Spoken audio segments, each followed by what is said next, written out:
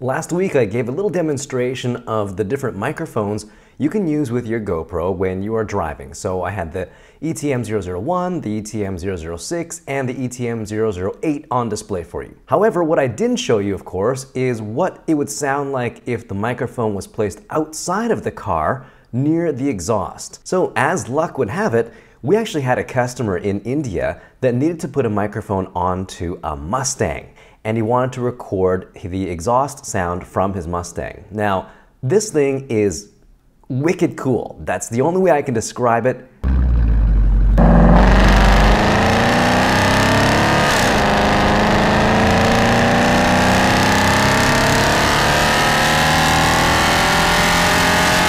Now, what he used in this video was the Action Bundle. He used the ETM001 microphone, the omnidirectional one, the EGL001 mini USB adapter cable, and he used the EWS003 furry windscreen. I should also mention that he actually used a GoPro Hero 4 in this video.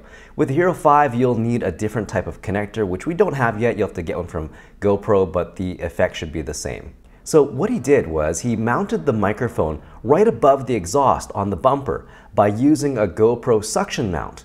Now, I never thought of mounting a microphone with a suction mount. I always thought of mounting a GoPro with the suction mount. But what he did was he mounted the camera on top of the car on the back, and then he had the microphone cable going down into the car and then coming out right by the exhaust, and then using the suction mount to hold the microphone in place. So there was no vibration, and the best part is the audio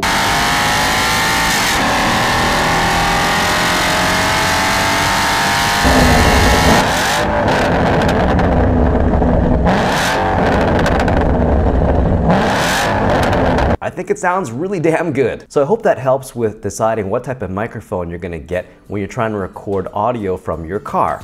And make sure you check out Ibrahim's channel and that particular video as well. Thanks for watching, make sure you like and subscribe, and we'll talk to you next time. Bye-bye. So a lot of people make videos driving their cars with their GoPros and talking, obviously, and so they need microphones. So I'm gonna test all